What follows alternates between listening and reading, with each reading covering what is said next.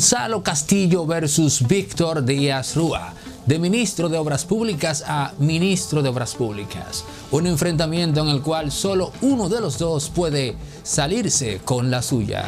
Leonel Fernández no es consejero oficial de Luis Abinader, actual presidente, pero sugiere una serie de medidas restrictivas y cero toque, no tan de queda le escuchará a Binader. Y como en este país, República Dominicana, donde quiera que haya elecciones, siempre hay un bendito lío. Algo raro está pasando con las elecciones del Colegio Dominicano de Notarios.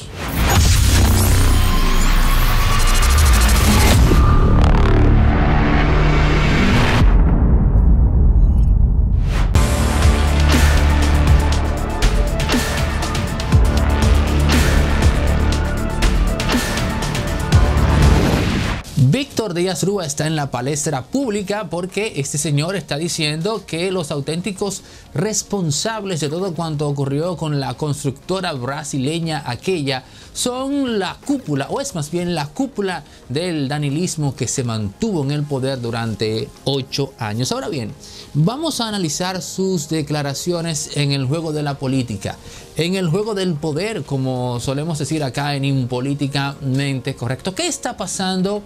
Entre Víctor Díaz Rúa y específicamente Gonzalo Castillo. Y aquí viene una serie de revelaciones que vamos a concatenar con el análisis en cuestión.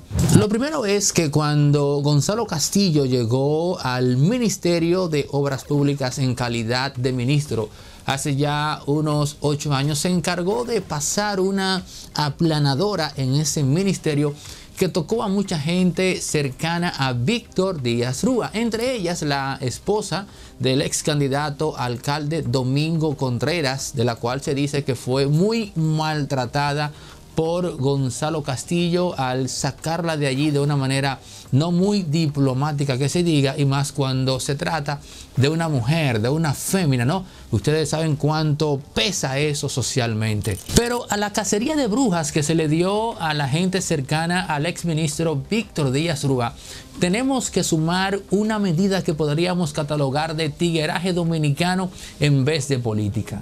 Y es que la cúpula danilista, sabiendo lo que venía con el tema de la constructora brasileña, porque ya venía cogiendo fuerza una reacción, en cadena en toda América Latina, tenían que comenzar a buscar a los culpables predilectos, no a los preservativos que iban a ser sacrificados. Y en primer lugar bailó el nombre de Víctor Díaz Rúa. Yo no estoy diciendo aquí que jurídicamente el señor Díaz Rúa tenga responsabilidad o no, yo no lo sé. Yo no soy Miriam Germán, que es a quien le toca investigar y avalar eso. Ahora, estoy diciendo que se dio un juego en la cúpula danilista que consistió en meter al medio, en convertir en, el zambá de ese tema a Víctor Díaz Rúa. Y esa es la razón por la cual hoy día Díaz Rúa sale a la luz pública tratando de colocar en el centro del debate a la cúpula danilista. Ahora hay una variable interesante que opera a favor de Díaz Rúa. ¿Ustedes creen, y les pregunto yo a ustedes, que Díaz Rúa no va a tratar de aprovechar una coyuntura en la cual Luis Abinader y Leonel Fernández se están entendiendo tan pero tan bien. ¿Ustedes creen que Leonel Fernández va a permitir que una persona tan cercana a él sea manchada con ese tema, algo que a futuro podría repercutir políticamente? Pero en esa misma línea tendríamos que hacer la pregunta, y si no es precisamente ese mismo Luis Abinader que podría tratar de descalificar las pretensiones de Leonel usando a ese mismo Díaz Rúa como chivo expiatorio? Hay muchas preguntas que de momento no tienen respuestas. Ahora, Víctor Díaz Rúa tiene en su poder el bajadero para salir de ese tema. ¿Cuál es? Lo he dicho ya en otras ocasiones. El hecho de que Díaz Rúa se convierta en un informante delator del tema de la bendita constructora brasileña. Ahora bien, hay algo en lo que tenemos que caer en cuenta de cara a Gonzalo Castillo. Y es el hecho de que este señor, examinando sus facultades comunicativas, no hay forma humana en que en su condición de disléxico él pueda aguantar eh, dos minutos, oigan bien, dos minutos de interrogatorio sin que él meta la pata. Y esa limitación de berbigerancia, esa limitación comunicativa es un factor que juega muy pero muy en contra de Gonzalo Castillo, porque ante, eh, digamos, el escrutinio de personas que caramba, son seres humanos y que de repente podrían estar predispuestos independientemente de que el individuo sea culpable o no, el hecho de que él no sepa comunicarse es un factor que le va a jugar muy pero muy en contra. Si se equivocaba él cuando lo tenía todo a su favor, imaginen ustedes los errores que cometerá en un ambiente en el cual él mismo sabe que todo está en su contra.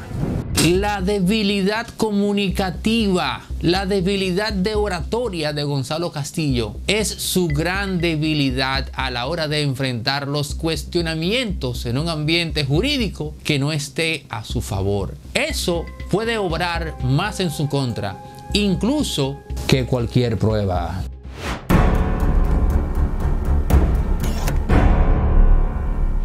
Señores, estamos en Patreon y ya tenemos varias personas que están apoyándonos allí. Escríbanos un correo o devuélvanos al correo que le dejamos para que comiencen a disfrutar de los beneficios que solo tienen las personas que nos apoyan en Patreon. También estamos en contacto con la diáspora a través de www.controlandoelegido.com. Elegido se escribe con J porque se refiere al barrio de Santiago.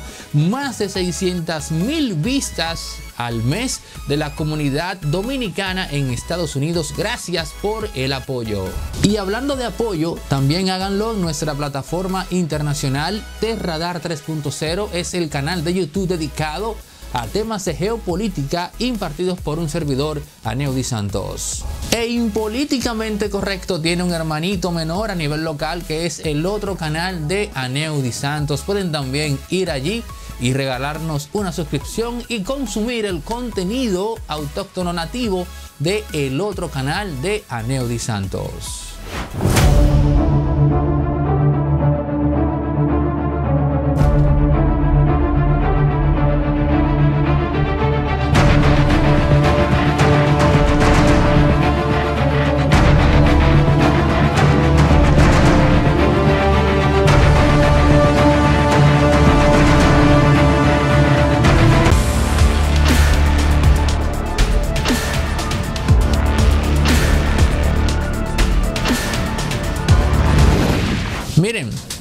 Siempre he dicho que Leonel Fernández tiene un pecado histórico en República Dominicana. Y es el hecho de que llegó un punto en esos ocho años de gobierno en los cuales el, el, ascenso económico para una persona de clase media baja, para una persona de clase media, pasaba por ser amigo de Manuel Estrella, Felito García, Mícalo Bermúdez, porque ese trípode empresarial y dos o tres más se convirtieron en el filtro económico de República Dominicana. A un punto tan, digamos, tan preponderante que incluso le cerraron el paso a Pepín Corripio. Yo siempre digo eso como mantra, porque incluso el mismo Leonel Fernández debería tener claro que existe gente en República Dominicana que sabe que él le cerró el ascenso a la clase media de este país porque le entregó el aparato económico a esos empresarios que ya cité. Si usted no era amigo y no tenía conexión con esas personas, usted no podía hacer grandes negocios con el Estado en este país. Dicho esto, paso ahora a la otra posición en el espectro. Me parece muy acertada la recomendación o la observación que hace ese mismo expresidente al cual nunca le voy a perdonar que le cerró el paso a la clase media de este país. Ese mismo individuo llamado Leonel Fernández, a quien respeto como ser humano, no como expresidente, porque reitero, los nominalismos me los paso por donde menos me brilla el sol. Respeto a Leonel en su condición de ser humano, en su condición de intelectual y otras cosas loables que él tiene, que son admirables, ¿no? Pero no me vengan con el cancito del tres veces es presidente, que eso, repito, me lo paso por donde menos me brilla el sol. Ese mismo señor ha hecho una exhortación muy acertada. Leonel dice que se deben mantener las medidas restrictivas, pero que ya no debería haber más toque de queda. Yo no sé si Leonel está diciendo eso como un canto de sirena, ¿no? Que sea placentero a los oídos de las masas, a los oídos precisamente de esa clase media, entre la cual me encuentro yo, que quiero salir a trabajar y generar dinero. Debo 8.5 millones de pesos y tengo que trabajar, ¿no? Para pagarle eso a la banca, porque yo no puedo esperar que Luis Abinader le pague esa deuda a mi empresa. No, yo tengo que tengo dos empresas, tengo que trabajar. Déjenme trabajar. Quítenme el bendito toque no tan de queda. Entonces yo apoyo categóricamente y me parece acertada la propuesta social que hace Leonel Fernández. Vamos a mantener las restricciones, pero por favor, ya no más toque no tan de queda.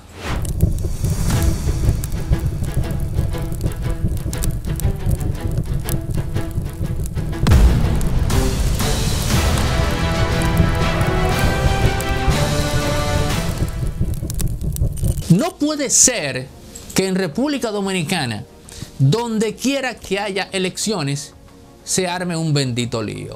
No puede ser que en un gremio, quizás no de tanto peso en el país, no lo tomen a mal, como es el Colegio Dominicano de Notarios o el Colegio de Notarios Dominicanos, lo que sea. Pero señores, allí hubo unas elecciones recientemente, el pasado fin de semana. Y resulta que de manera extraña quedó excluido, oigan esto, casi el 80% del padrón electoral de abogados notarios que tenía que votar. Sobre la base, sobre el subterfugio de que no habían pagado una cuota, ¿no? Con la cual no estaban al día y que los inhabilitaba para ejercer su derecho al voto. Pero resulta que esa cuota había sido derogada años atrás por el Tribunal Superior Administrativo. Es decir, que la bendita coartada no tenía aparentemente razón de ser. Pero en la práctica, el hecho de que solamente pudiesen votar poco más de 2.000 abogados notarios, de un total de 7.000 y pico, 7.000 ahí, 200 y pico, qué sé yo, favoreció solamente al actual presidente, que ya va, digamos, sospechosamente, por así decir, oigan esto, ya va para su tercer periodo en ese cargo. Yo, en lo particular, no tengo vela en ese entierro. Ahora, me llama la atención que en unas elecciones de un colegio de notarios se arme semejante lío y que solamente vote, vote poco más del 20% de la matrícula.